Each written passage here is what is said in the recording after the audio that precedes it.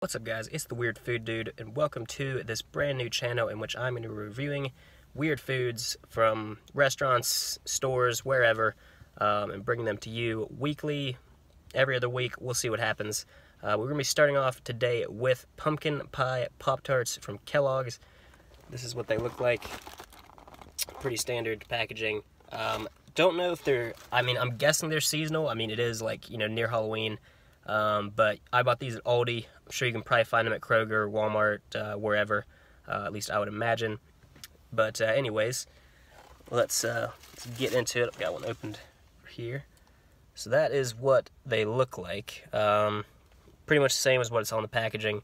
Nothing really that special. There's just some uh, you know sprinkles on the top with the uh, the glaze, whatever you call it.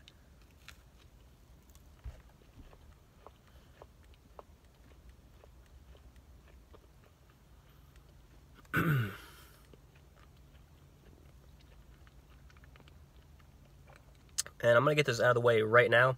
Don't think you could hear it there, but if you do ever hear a popping, that's just my jaw. Uh, I've got TMJ. If I chew anything that's super hard, it's going to pop.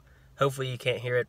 Uh, but anyways, it's uh, it's good so far. I'm going to get a bite. So that was more like the, the crust region. You know how it is with Pop-Tarts.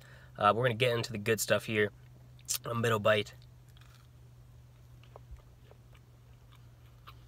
and it is pretty pretty damn solid. It's um it's not quite pumpkin pie, but it's it's very pumpkiny. It's it's you know it's not too sweet. Um, it's it's pretty. I don't know. Thinking out of ten, I'll give it a. Uh, think a seven when it comes to like actually you know trying to replicate a pumpkin pie. I mean it does it pretty well uh, for a pop tart. I think this was like two fifty. Um, so you know a whole box of these 12 of them, I think, yeah, uh, in the package. So pretty good price. Um, it's not that far off from pumpkin pie. I mean, it's, you know, obviously it's not going to have the same texture and stuff like that that makes pumpkin pie what it is, but it's got the pumpkin pie flavor, um, and I like that. So, you know, 7 out of 10 when it comes to replicating the pumpkin pie. Overall, I think I'm going to give it an 8 out of 10 uh, just as a, as a food in general, and that is the scale that I'm going to use for most of these.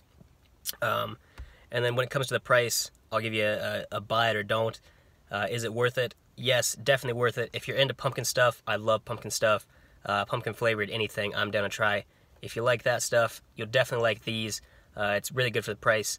Um, and yeah, that is going to do it for this first review. Let me know uh, what you guys think in the comments down below. Leave a like if you enjoyed it.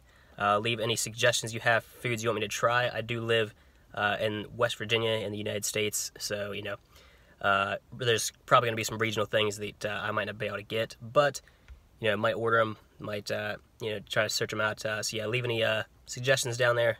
Leave a like on the video, subscribe to the channel, and I will see you guys next time.